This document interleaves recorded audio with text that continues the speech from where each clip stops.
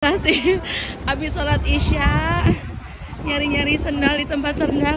Ternyata sendalku hilang.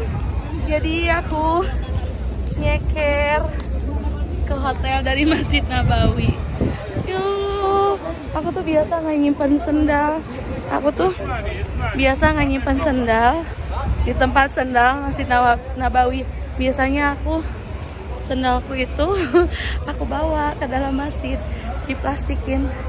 Sebenarnya agak-agak kurang enak perasaan tadi pas nyimpan sendal aduh.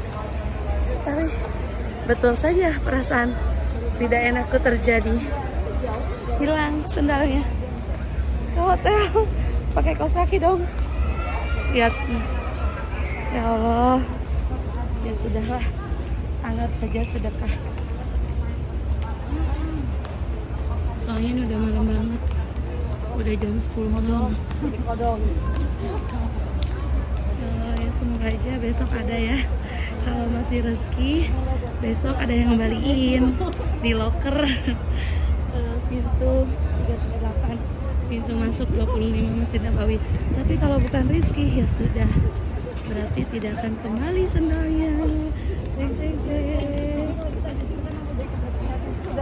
Aduh, pengalaman pertama nyimpen sendal. Bener nggak enak perasaan tadi.